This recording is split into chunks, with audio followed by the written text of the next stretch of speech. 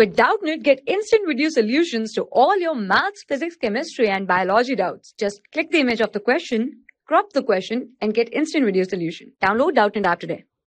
Hi students, our question here is find the measure of all the angles of parallelogram if one angle is 24 degrees less than twice the smallest angle. So let's say this is a parallelogram ABCD. Now angles op opposite angles of parallelogram are equal. So we can say angle A is equal to angle C, right? That angle right angle A is equal to angle C and angle B is equal to angle D. Reason opposite angles of parallelogram are equal, right? Are equal.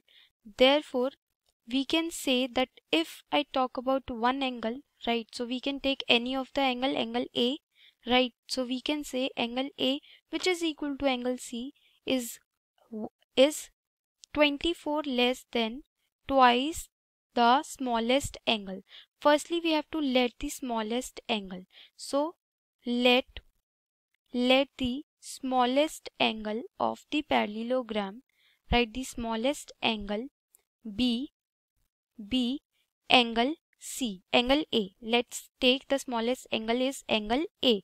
So we can say that that angle B, right, angle B will be equal to 24 less than twice the smallest angle. So smallest angle is angle A. So twice the angle A minus 24 degrees. This is angle B.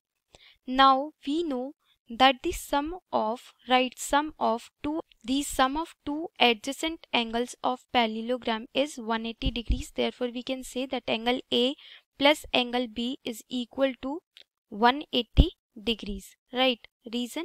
Adjacent angles makes supplementary angles right? Supplementary means 180 degrees. Therefore angle a we can take angle a plus angle b we can substitute here. So angle b is equal to twice of angle a minus 24 degrees which is equal to 180 degrees right?